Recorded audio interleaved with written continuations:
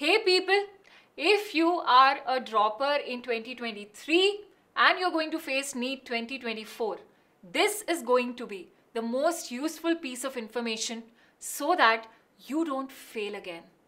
Well, in the remaining 11 months, make sure कि पहले दो महीने आप सिर्फ़ अपने बेसिक्स पर काम करें for all the subjects NEET 2023 ने आपको आपकी वीकनेसेस दिखा दी हैं मेक श्योर कि उन चैप्टर्स के बेसिक्स आप क्लियर करो which revolve around NCERT next दो महीने में you can go towards advance concept her subject में टीचर्स आपको एनसीआरटी से बाहर थोड़े एक्स्ट्रा कॉन्सेप्ट बताते हैं which are essential you focus on advanced concepts by watching our classes and making your own notes, which will be a consolidation of basics, NCERT and advanced concepts.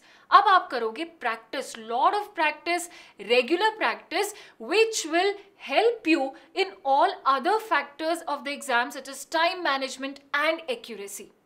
Once you have gained confidence in 7th to 9th month, you will solve mock tests regularly. This will sharpen your time management so well. In the last two months, that is month 10th and 11th, make sure you revise through your test series. A test series hi aapko bata sakti where you stand in the competition at the All India level. For more such updates, tune into Aakash BYJU'S NEET channel.